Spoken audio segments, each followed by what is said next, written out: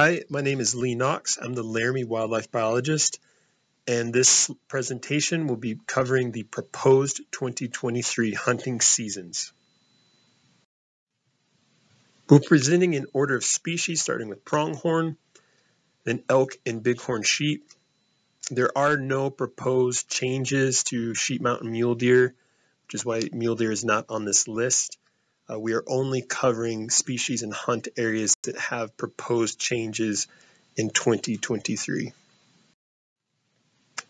So in the season setting process, there's multiple steps, starting with the data collection, which goes clear back into August when we start collecting preseason classification for pronghorn, into fall season where we have hunter checks, check stations, um, disease and data collection, into, into our aerial surveys starting in late November and going clear into January and February.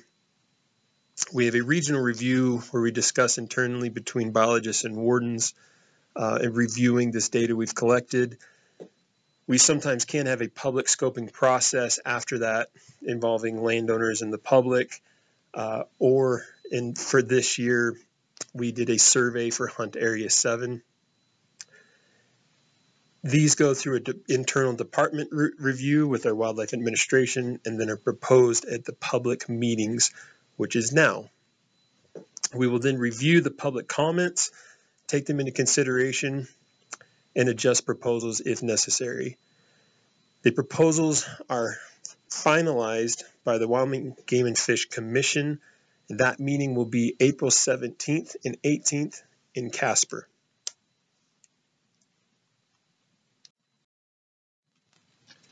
So we'll start with Centennial Pronghorn. Centennial Pronghorn includes hunt areas 37, 44, and 45. The population objective is 14,000 pronghorn. Our recreational management strategy is between 30 and 59 bucks per 100 does. The 2022 postseason population estimate was 12,700 and within the 20% of our population objective. Uh, fawn ratios improved this year uh, and we're 63 per 100 does above the five-year average. And our buck ratios are just below our five-year average at 38 per 100 does and in the middle of recreation in our recreational management strategy.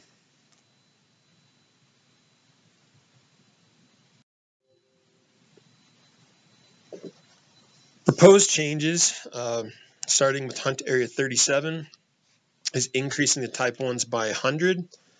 Hunter success has been very high the last five years in hunt area 37, uh, even in the low 90s. So we propose an increase there to provide more opportunity. Hunt area 44 has really been struggling in the in the this herd unit We've had very low hunter success. We made pretty drastic license reductions in for the 2022 season, uh, but it appears more is needed. So to address low hunter success, uh, we will reduce by another 25 licenses and remove the type 6 licenses completely to address uh, low population. Hunt Area 45 uh, did very well last year. Hunter success was 90%. So we'll add an additional 50 licenses to increase opportunity. Cooper pronghorn. Cooper pronghorn includes hunt area 43. The current postseason population objective is 3,000 pronghorn.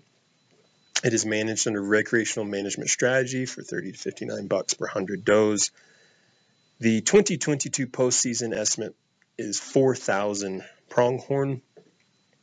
Uh, we will be flying a end of bio year line transect this spring to help come up with a more accurate population estimate. We are also proposing to increase this population objective from 3,000 to 5,000 pronghorn that would better align with landowner uh, concerns and hunter concerns over the current population numbers, which is, as you can see on the graph, incredibly low uh, from if you look back to the late 2000s where it was closer to 7 to 8,000 pronghorn and then started to steeply decline after the hard winters of 18 and 19 and then followed by severe droughts in 19, 20, 21, and 22. The fawn ratio for this herd is 55 fawns per 100 does in 2022. The five-year average is 80, uh, though we're not seeing in the past those higher fawn ratios, the recruitment make it into the population. This herd typically has very high fawn ratios. If we do get rain, it can grow very rapidly. Uh, so we will, I guess, keep waiting on that. Buck ratios are starting to decline due to the poor fawn recruitment. Um, we're seeing that in the lack of yearling bucks on the landscape. And the buck ratio in 2022 is 27 per 100 does, which is below the five-year average of 32 to 100 does and falling below the minimum for recreational management strategy.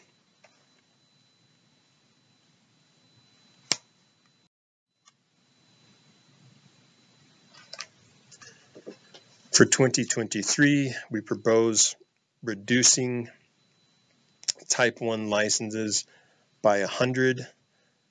We made reductions in 2020 for the 2022 season, uh, and we still need to make more, so we're proposing another 100 this year.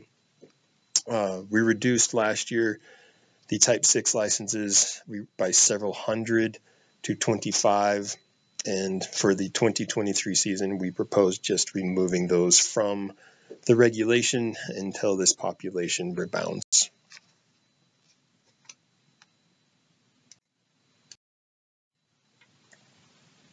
Medicine bow pronghorn. So the medicine pronghorn is quite, herd is quite large. It includes hunt areas 30, 31, 32, 42, 46, 47, and 48. The population objective is 40,000 pronghorn, and it is under recreational management strategy. Our 2022 postseason population estimate was 39,000 pronghorn which puts us within 20% of our population objective. However, that population growth is still not equal amongst the landscape. We are still seeing uh, reduced population levels in hunt areas 30, 31, portions of 42, though it seems to be recovering, uh, southern 47, southern 48, and all of 46. Uh, those have yet to fully recover from the hard winters of 18 and 19, and then followed by several years of severe drought, whereas we have seen better rain, summer rain, in the northern portions of 48, 47, and 32. And that is where the majority of the population is doing incredibly well. Our post or fawn ratios in 2022 are 67 per 100 does and are right at the five-year average. Buck ratios increased to 50, which is above the five-year average and getting on the upper end of recreational management strategy. Overall, this population does seem to be recovering. Uh, we have had a pretty good winter in Shirley Basin and in Bates Hole and portions of 32. Uh, we still have callers on the landscape. We started to see quite a few winter mortalities happening um, in February, though they seem to have slowed down. Um, depending how the rest of the spring goes, we should be not we should not see any significant population level declines, and with the added moisture on the landscape, uh, hopefully we see good things this spring. So proposed for 2023 is to increase hunt areas 32 type 1s by 200 and to just to increase opportunity populations have been incredibly um, high uh, hunter success has been high and also increase the type 6s by 100 just to start addressing those higher numbers of pronghorn on the landscape. So we don't have any negative effects to the habitat. And decreasing the type 7s by 50 it's a it's a damage tag and there's just less concerns at this moment.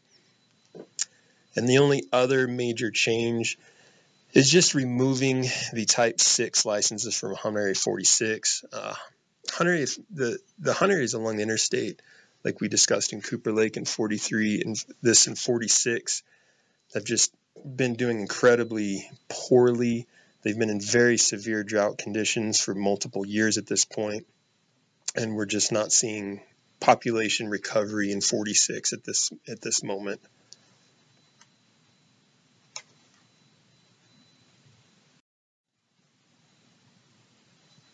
Snowy range elk.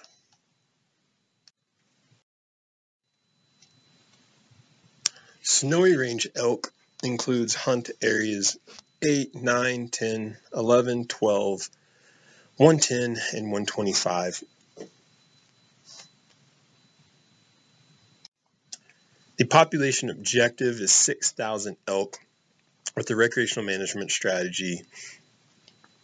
The 2022 postseason population estimate is just shy of 10,000 elk, and our calf ratio is 41 calves per 100, which is exceptionally well for elk uh, and is right there with the five year average of 40. Bull ratios were high uh, 32 per 100 bulls. The five year average is 27. Bull ratios are doing pretty, really well in the snowies. Uh, that number should be taken with a grain of salt and probably considered more with the five year average bull because when we fly and count elk, uh, if it's really cold and snowy, we count a lot of bulls. Uh, if it's a, if it's 30, 40 degrees and sunny, we don't count a lot of bulls because they're up in the trees. So it's very weather dependent without a uh, very intensive survey.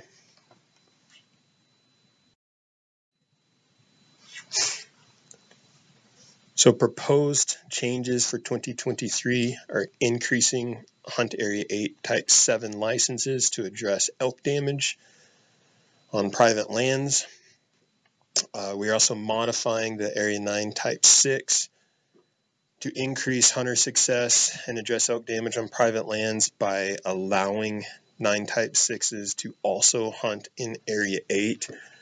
Um, area 8 gets a lot of wintering elk from Colorado that also go back and forth across hunt area boundaries. Uh, and even though there's plenty of elk in Hunt Area 9, and the 9 Type 6s have become popular to purchase in the draw. Hunter success has always remained low, and uh, a lot of those licenses go unused or unfilled. So this is a way to increase the area and HMAs and opportunity where these licenses could be utilized. We are also proposing to increase the Area 10 Type 6 from 100 to 300 to address over objective elk.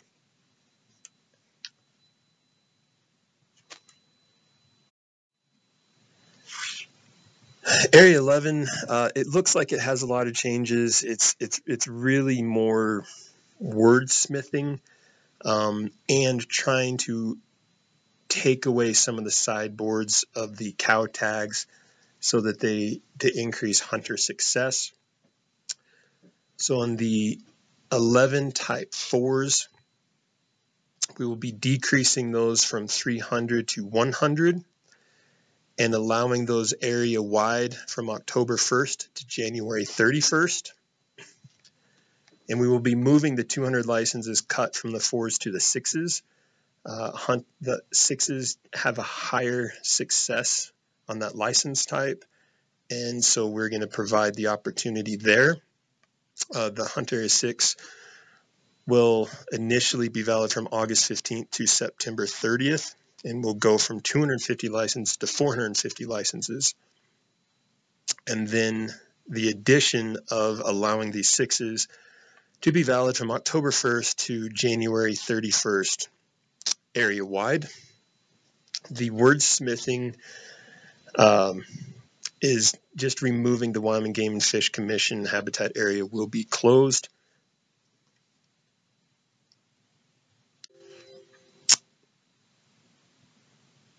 It's just unnecessary regulation wording at this point because the Wick is officially closed from human presence. So it's not, it already says it on the signs, the gates will be shut. So it's not something we need to remove or need to say within the regulations. The Wick uh, closure dates will still remain the same and it will be closed to human presence. So the only major change in, in all this is the 11 type 6s will not be able to hunt cow elk with rifles um, north of the interstate on the Wick. They will have to wait till October 1st to hunt Wick property.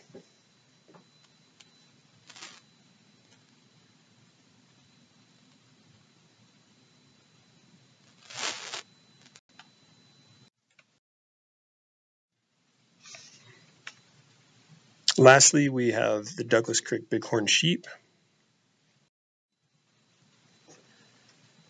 Douglas Creek is Hunt Area 18. It is a limited opportunity objective uh, with secondary management objectives of five-year running average of greater than 75% hunter success. Uh, we're currently at 100%, five-year running average, age between six and eight. Uh, our five-year average is eight years of age and document of adult rams in the population, and we observed at least 12 mature rams in 2022. The big changes proposed for 2023 are the separation of hunt areas in 18 and 21. Uh, they have historically been run together uh, with a closed every other year, open every other year, uh, two licenses. And we're going to separate those because we believe the opportunity exists. Um, Hunt Area 18 will take three licenses this year, and they will be any re- or any RAM uh, resident only. Uh, because of the 90-10 split, 18 and 21 uh, have to split five licenses to keep everything in order. So the non-resident will go to 21 this year. So for the final season, uh, Hunt Area 18, August 15th to August 31st, archery, and September 1 to November 30th, uh, three licenses, any RAM. And finally, if you have any uh, comments of support, of concern or just general questions about any of the proposed 2023 seasons, uh, those need to be submitted by March 29th at 5 p.m. All comments are shared with the Commission. There's an online form at the Wyoming Game and Fish website under regulations. They can be written in to the Wyoming Game and Fish at the address shown on the slide. Uh, and there will be paper forms available at the public season setting meetings that will be happening uh, this week.